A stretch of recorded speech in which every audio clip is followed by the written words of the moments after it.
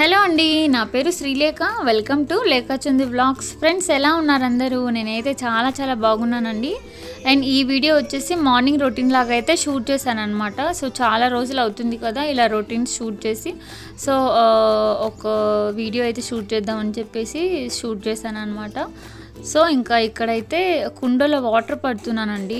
Filter ఉంటుంది కదా ప్యూరిటు so దాంట్లో నుండి వాటర్ అయితే పట్టుకుంటాను అనమాట ఇట్లా. ఇంకా సమ్మర్లో వాటర్ అయితే కొంచెం వేడిగా అవుతుంది కదా సో ఇంకా ఇలాగైతే కుండలో వాటర్ అయితే ఇంకా పట్టుకుంటాము. సో ఇంకా అంటే పూర్తిగా కుండ అయితే నిండదండి ఒకేసారి. హాఫ్ దాకా నిండిన తర్వాత ఇంకా మళ్ళీ ఫిల్టర్ అవుతుంది కదా వాటర్. సో ఇంకా అలాగే ఉంచేస్తాను కొద్దిసేపు. తర్వాత ఫిల్టర్ అయిన వాటర్ని ఇంక మళ్ళీ పడతాను అనమాట సో ఇంకా కుండ మొత్తం నింపేసిన తర్వాత ఇంకా సైడ్కి పెట్టేస్తాము. సో ఇంకా ఎప్పుడు నైట్ అయితే చేసేవాళ్ళమండి మేము అలాగా. ఇంకా ఈరోజు మాత్రం అంటే నైట్ మేము అలా వాటర్ పట్టుకోలేదు. సో ఇంకా మార్నింగ్ మార్నింగ్ ఇంకా కుండ కడిగేసి ఇంకా వాటర్ అయితే నింపేసాము. అండ్ ఇంకా అన్ని పనులు అయిపోయిన తర్వాత ఇంకా టీ అయితే పెట్టానండి. సో మా హస్బెండ్కి అయితే ఇచ్చేసాను. ఇంకా లిటిల్కి కూడా టోస్ట్ తినిపిద్దాము ఏడుస్తున్నాడని. కొంచెం టీ ఇంకా టోస్ట్ అయితే తీసుకొని వెళ్తున్నాను. సో ఇంకా వాడైతే తింటాడండి టోస్ట్. అంటే ఎక్కువగా ఏమీ పెట్టను ఇంకా ఒకటైతే ఫుల్గా తినేస్తాడు ఇంకొక దాంట్లో అయితే హాఫ్ అలా తింటాడనమాట.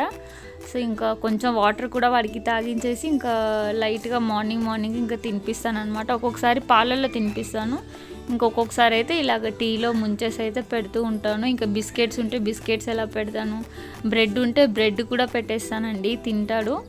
సో ఇంకా టీవీ చూసుకుంటూ అయితే ఇంకా వాడికైతే తినిపిస్తున్నాను అనమాట సో చిన్నారి ఇంకా లేవలేదండి. తను లేచేసరికి నైన్ అన్నా అవ్వాలి కంపల్సరీగా టైము. సో తన టైమింగ్స్ కూడా కొంచెం చేంజ్ చేద్దామని అయితే అనుకుంటున్నాను. మళ్ళీ స్కూల్కి వెళ్ళిన తర్వాత అలవాటు అవ్వదు లేవదు అని చెప్పేసి కొంచెం స్కూల్ స్టార్ట్ అయ్యే ముందే ఒక టెన్ ఫిఫ్టీన్ డేస్ అలాగా టైం షెడ్యూల్ చేద్దామని అయితే అనుకుంటున్నాను. సో ఇంక ఇక్కడ లిటిల్కి అయితే తినిపిస్తున్నాను అనమాట అండ్ ఈ వీడియో స్కిప్ చేయకుండా లాస్ట్ దాకా చూడండి. లాస్ట్లో నేను కుంకుమ ఎలా తయారు చేసుకోవాలి ఇంట్లో అనేది నేను చూపిస్తానండి. చాలా చాలా ఈజీగా ఉంటుంది ప్రాసెస్. మీరు ట్రై చేయండి. పసుపుతోటి ఎలా చేసుకోవాలో చూపిస్తాను. జనరల్గా మైదా పిండి వాటితో చేస్తారు కదా సో నేను అలా కాదు. పసుపుతోటి కుంకుమ ఎలా ప్రిపేర్ చేసుకోవాలో చూపిస్తాను. సో స్కిప్ చేయకండి. లాస్ట్లో వీడియో అయితే యాడ్ చేస్తాను చూడండి. అండ్ నా వీడియో చూసే వాళ్ళు ఎవరైనా సబ్స్క్రైబ్ చేసుకోకుండా చూస్తూ ఉన్నట్లయితే ప్లీజ్ అండి సబ్స్క్రైబ్ చేసుకోండి. అండ్ వీడియోకి లైక్ ఇవ్వడం మాత్రం అస్సలు మర్చిపోకండి. అండ్ ఊరు నుండి వచ్చామని చెప్పాను కదా సో ట్యూస్డే వచ్చామండి. ఇంకా ట్యూస్డే నాకు చేత కాక నేను వీడియో ఏమీ షూట్ చేయలేదు. ఆల్రెడీ షూట్ చేసిన వీడియోనే ఎడిటింగ్ చేసి పోస్ట్ చేశాను. సో ఇంకా ట్యూస్డే రోజు అయితే నేను షూట్ చేయలేదన్నమాట. ఇంకా నెక్స్ట్ డే వెనస్డే రోజు అయితే అంటే ఈ రోజే నేను మార్నింగ్ షూట్ చేసి ఇంకా ఈ టైంకి అయితే పోస్ట్ చేస్తున్నాను అనమాట ఇంకా డైలీ ఒక వీడియో పెట్టాలి కాబట్టి ఇంకా షూట్ చేసి పెడదామని అయితే పోస్ట్ చేస్తున్నానండి. ఇంకా నేను ఊరికి కూడా వెళ్ళానని చెప్పాను కదా సో టూ డేస్ నేను ఏం వీడియోస్ అయితే షూట్ చేయలేదండి. ఇన్స్టెంట్ మెహందీ వీడియో షూట్ చేశాను. దానికంటే ముందు మమ్మీ శారీ కలెక్షన్ వీడియో చేశాను. వ్లాగ్స్ పెట్టాలంటే ఇంకా రొటీన్ అవుతుంది. ఎందుకులే అనేసి ఇంకా మీకు కూడా రోజు వ్లాగ్స్ అని అంటే బోర్ కొడుతుందని నేను షూట్ చేయలేదండి. సో ఇంకా ఈరోజు షూట్ చేశాను అనమాట ఇంక ఇక్కడ వచ్చేసి మార్నింగ్ టిఫిన్ కోసం వడ చేద్దాం అనుకున్నాను. సో నైట్ పడుకునే ముందు నేను మినపప్పునైతే నానబెట్టుకుని ఉన్నాను. సో ఇంకా వాషెస్ అయితే మంచినీళ్ళు పోసి ఉంచుకున్నానండి. ఇక్కడ నేను మెహందీ చూపిస్తున్నాను కదా. ఆ రోజు నేను ఇన్స్టాంట్ మెహందీ చేశాను బట్ త్రీ ఫోర్ డేసే ఉంటుందని చెప్పాను కదా. సో త్రీ ఫోర్ డేస్ కాదండి. మనం నార్మల్గా గోరింటాకు కోన్స్ పెట్టుకుంటాం కదా. సో అవి ఎన్ని రోజులు ఉంటాయో ఇవి కూడా అన్ని రోజులు ఉంటున్నాయి. సో కలర్ మాత్రం చాలా మంచిగా వచ్చిందండి.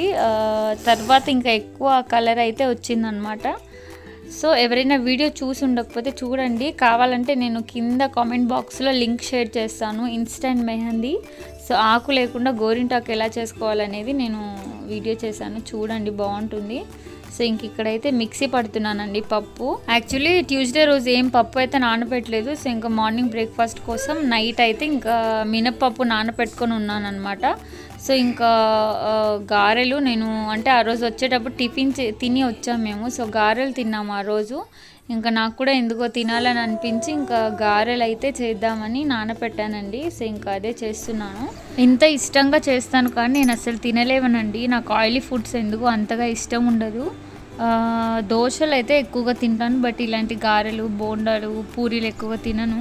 ఇంకా ఒక త్రీ ఫోర్ డేస్ అయితే మమ్మీ కూడా వచ్చేస్తుంది. ఇంకా మమ్మీకి కూడా హాలిడేస్ అయితే ఇస్తారంట. ఇచ్చేశారు ఆల్రెడీ బట్ ఇంకా ఇంట్లో వర్క్ అంతా చూసుకొని ఇంకా స్కూల్లో కొంచెం పెండింగ్ వర్క్ ఉందంట. సో అదంతా చూసుకొని ఇంకా సాటర్డే ఆర్ సండే అలా వస్తానని అయితే చెప్పింది.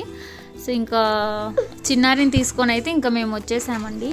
పిండి రుబ్బడం అయిపోయిన తర్వాత ఇంకా పచ్చడి కోసం అయితే ఇక్కడ ప్రిపేర్ చేస్తున్నాను అనమాట ఎప్పుడు టమాటాలు వేసి పచ్చడి చేసేదాన్ని బట్ ఈరోజు మాత్రం పచ్చిమిర్చి పల్లీలు పుట్నాలు అండ్ మినపప్పు ఇవి వేసి మాత్రం పచ్చడి చేద్దామని అనుకుంటున్నాను. సో ఇంకా డైలీ ఒకటే టైప్లో ఎందుకు ఇంకా చేంజ్ చేద్దామని పుట్నాలు ఎలాగో ఉన్నాయని చెప్పేసి పుట్నాలు కూడా ఎక్స్ట్రాగా యాడ్ చేశాను. బట్ అన్నీ కలిపి ఒకేసారి అయితే ఫ్రై చేయొద్దండి. ఫస్ట్ పచ్చిమిర్చి ఫ్రై చేయాలి. పచ్చి స్మెల్ అంతా పోయేలాగా మీడియం ఫ్లేమ్ మీద అయితే ఫ్రై చేసుకోవాలి. తర్వాత పల్లీలు యాడ్ చేసుకోవాలి. మనం క్వాంటిటీని బట్టి ఇంకా పచ్చిమిర్చి అవి కూడా ఎక్స్ట్రాగా వేసుకోవాలన్నమాట. సో ఇంకా చూడండి పల్లీలు అన్ని చీమలు అయితే ఎక్కేసాయండి. డబ్బాలో వేశాను నేను ఫస్ట్ వేసేటప్పుడు అంతగా చూసుకోలేదు. ఇంకా తర్వాత చూసాను అనమాట డబ్బాలో కడాయిలో ఎన్ని చీమలు పడ్డాయో ఏంటో పాపం. సో ఇంకా ఇక్కడైతే ఫ్రై చేస్తూ ఉన్నాను. సో పల్లీలు పచ్చిమిర్చి ఫ్రై అయిపోయిన తర్వాత అవన్నీ తీసేసి వేరొక ప్లౌ ప్లేట్లోకి షిఫ్ట్ చేసిన తర్వాత దీంట్లో పుట్నాలు వేస్తాను. సో దగ్గర దగ్గర పల్లీల క్వాంటిటీ అయితే తీసుకుంటానండి పుట్నాలు. సో మరీ ఈక్వల్గా కాదు కానీ కొంచెం తగ్గించుకుంటాను అనమాట మంచిగా ఇవి కూడా ఇవి మరీ ఫ్రై అవ్వాల్సిన అవసరం లేదు. లైట్గా కలర్ చేంజ్ అయితే చాలన్నమాట. లేకపోతే మాడిపోతాయి వెంటనే. అండ్ తర్వాత ఇంకా ఒక టూ టీ స్పూన్ మినపప్పు కూడా ఇలా ఫ్రై చేసుకోవాలి. మినపప్పు యాడ్ చేస్తేనే టేస్ట్ అనమాట సో బయట మనం తినే పల్లి పచ్చడి అంతా ఇలా మినపప్పు కూడా యాడ్ చేసి చేస్తారంట.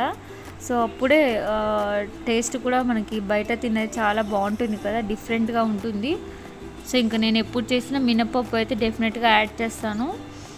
ఇక్కడైతే ఇంకా మినపగారెలు అయితే వేసేసానండి. ఈరోజు అయితే చాలా పెద్ద పెద్దగా వేశాను. ఎప్పుడు నేను నార్మల్గా చేతితోటే వేసేస్తాను చిన్న చిన్నవి. బట్ ఈరోజు ఎందుకో కొంచెం హోటల్ స్టైల్లో అలా చేద్దామని చెప్పేసి కొంచెం పెద్ద సైజులో అయితే వేశాను. చాలా చాలా బాగా వచ్చాయండి.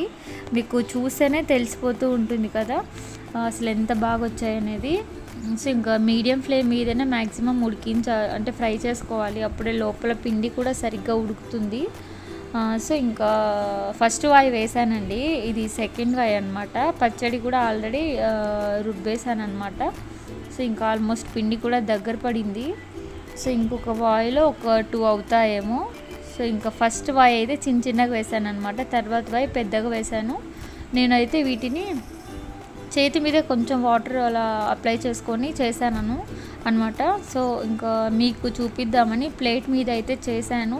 చూపిస్తానండి అది బయట చేసే వడలో అయితే ఉప్మా రవ్వ యాడ్ చేస్తారని నేను అనుకుంటున్నానండి. ఎందుకంటే మనం ఇంట్లో చేసేదానికంటే బయట చేసేది ఇంకా క్రిస్పీగా ఉంటాయి. అవి చల్లారినా కానీ కొంచెం క్రిస్పీగానే అనిపిస్తూ ఉంటుంది ఎందుకో. నేను ఎప్పుడు చేసినా కానీ చల్లగా అయ్యాయంటే కొంచెం గట్టి పడతాయి అనమాట బట్ బయట తింటే అలా ఉండదు. నాకు తెలిసి వాళ్ళు బొంబాయి రవ్వ యూజ్ చేస్తారు అనుకుంటున్నాను నేనైతే. సో బాగుంటాయి కదా బయట తిన్నవైతే. సో ఇంకా దీని ఈ పిండిలో అయితే ఏమీ యాడ్ చేయలేదండి. అంటే వాటర్ కూడా ఎక్కువగా యాడ్ చేయొద్దు మనం మిక్సీ పట్టేటప్పుడు. ఎందుకంటే వాటర్ ఎక్కువగా యాడ్ చేసామంటే ఇలా ఒత్తడానికి రాదనమాట వడలు. సో అసలు వాటర్ ఏమి యాడ్ చేయకుండా నార్మల్గానే గ్రైండ్ చేసేసేయాలండి. అండ్ దీంట్లో కొంచెం జీలకర్ర సాల్ట్ అలా యాడ్ చేసుకొని మిక్సీ పట్టుకోవాలి. సో అంతేనండి. గారెలు పిండి అయితే ఇంకా రెడీ అయిపోతుంది. తర్వాత మనం కావాలనుకుంటే పచ్చిమిర్చి అవన్నీ యాడ్ చేసుకొని ఇంకా చేసుకోవచ్చు అనమాట ఇక్కడ చూడండి లిటిల్ వాళ్ళు ఎలా ఆడుకుంటున్నారో పిల్లలు. ఇంకా స్వర్ణ కూడా వచ్చింది. కుట్టి పాపని క్లినిక్లో చూపించడానికి అయితే వచ్చారంట. సో కలిసి వెళ్దామని వచ్చింది. ఒక వన్ అవర్ టూ అవర్స్ అలా ఉండి తర్వాత వెళ్ళిపోయింది. ఇప్పుడు పసుపు తోటి కుంకుమ ఎలా ప్రిపేర్ చేసుకోవచ్చు అనేది నేను ఈ వీడియోలో కొంచెం చూపిస్తాను అనమాట చూడండి చాలా natural గా మనం కుంకుమ ఇంట్లోనే మనం ప్రిపేర్ అయితే చేసుకోవచ్చు.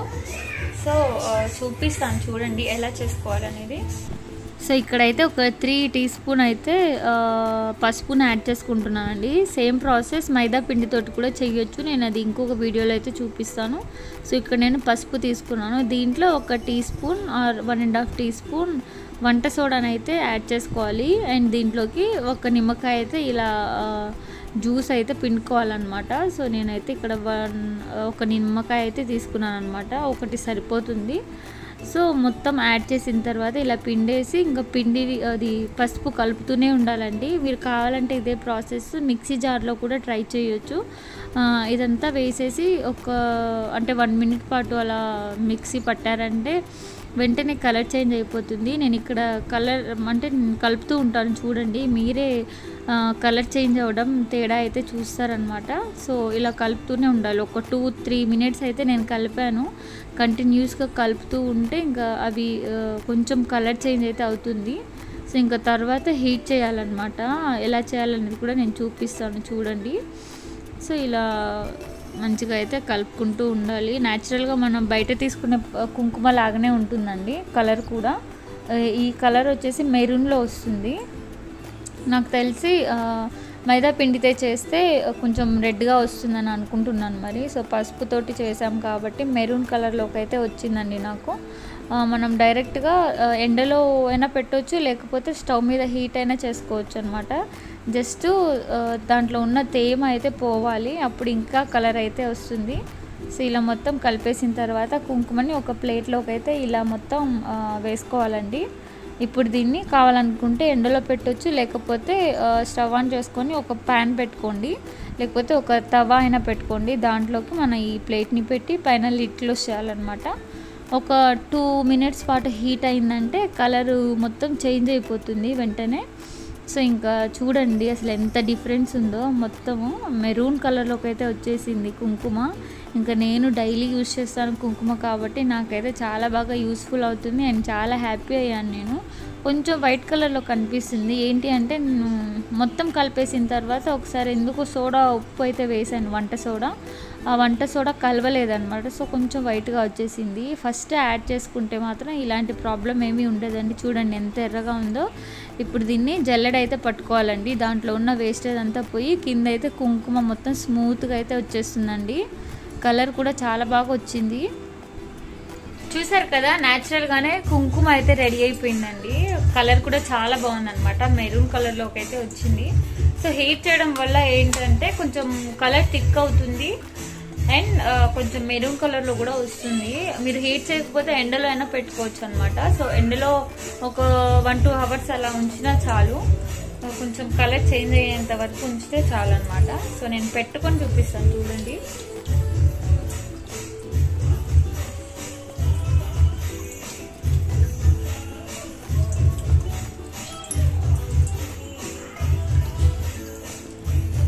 నార్మల్గా నార్మల్గా మనం షాప్స్లో తెస్తాం కదా కుంకుమ సో అలాగే ఉందనమాట మీకు మరీ బర్కగా వద్దు అనుకుంటే కొంచెం స్ట్రైన్ చేసుకొని కూడా ఈ కుంకుమ అయితే యూజ్ చేసుకోవచ్చు. చాలా బాగుంటుందనమాట ట్రై చేయండి. సో కలర్ కూడా చూ- చూడండి. నా చేతికి కూడా అంటుతుందనమాట కలరు సో ఇంత బాగా అయితే వచ్చింది కుంకుమ. ట్రై చేయండి. మంచిగా వస్తుంది.